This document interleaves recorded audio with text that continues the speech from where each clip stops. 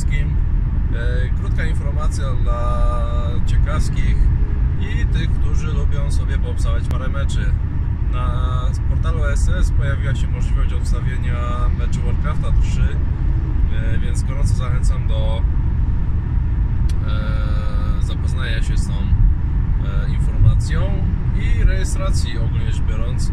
Kiedyś już było tam parę meczy z naszej gry, natomiast przez jakiś czas nic nie było słychać na ten temat. No i nie wiem, czy to taki zbieg okoliczności, czy to przez to, że się spisałem z STS-em na Twitterze. Dzisiaj pojawiły się dwa nowe mecze Warcrafta trójki. Na razie tylko dwa, ale być może niedługo będzie więcej tych meczy, ponieważ jak dobrze wiemy, e, czeka nas Close Qualifier w lidze ESL od Dreamhacka e, w ramach przystanków ESL Pro Tour. Więc miejmy nadzieję, że coś tam się jeszcze pojawi i będziemy mogli sobie troszkę e,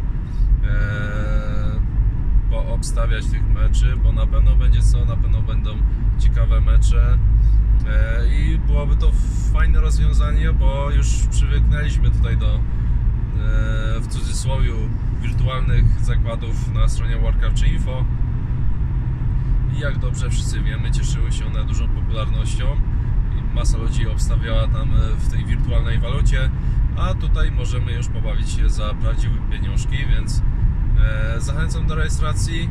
STS Polska, dziękujemy, że tutaj dodaliście te mecze. Mam nadzieję, że dodacie jeszcze ich troszkę więcej.